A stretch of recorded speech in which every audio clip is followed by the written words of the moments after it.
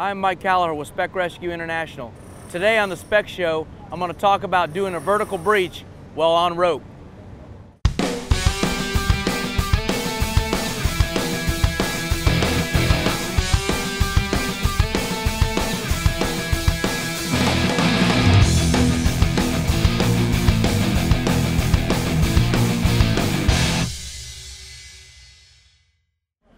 Okay, as you can see here, we have a wall set up and I came over on rope.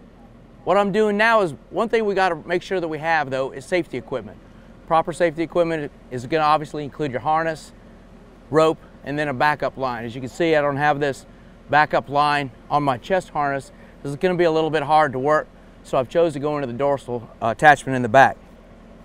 Also wanna have proper eye protection, helmet, chin strap, ear protection, and some sort of respiratory protection when you're drilling concrete. You don't want all that dust to get in your lung. So when I start drilling, I'm gonna put this APR on. Now that we've covered the safety equipment, let's talk about the actual tool that we're gonna use to do this operation. Right now, what I have here is a rotary hammer, and I have a drill bit in it right now, so I'm planning on doing some stitch drilling on this wall. One thing I've rigged up here on this is some sort of device to hold the tool. So I'm not holding all that weight the whole time. That's just added weight that I'm gonna have to, to have on my system.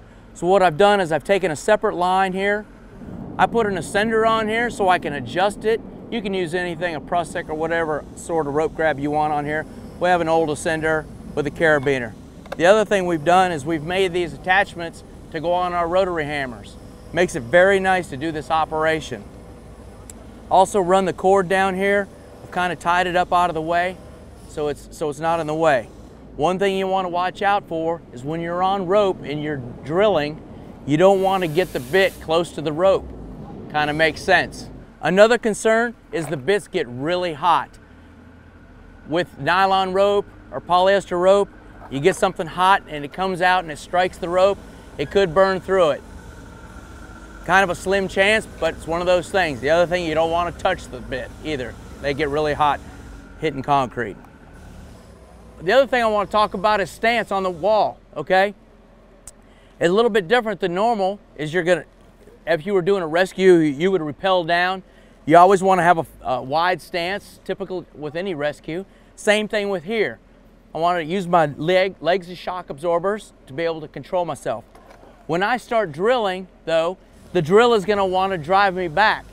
So what I'm gonna do to counteract that is I'm gonna use my weight and that pendulum effect to drive the bit in. So all I'm gonna do is just use my force and my weight as I start drilling, I'll just sink my knees down, okay? So I'll start up high. When I put the bit in, I'll just let my legs go down and the bit will slide right in. Another thing that I found out with doing this is you wanna work from the top down. As simple as it sounds, sometimes we'll start working up high and then we try to move up and then we actually have that tool above our arms. It's usually actually easier to kind of work down and then just kind of start from the top and then work down.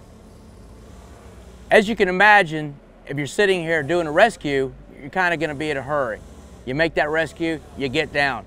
Sitting in the harness for five to 10 minutes gets fairly uncomfortable. As you can see, it's starting to kind of wear on me in the hips.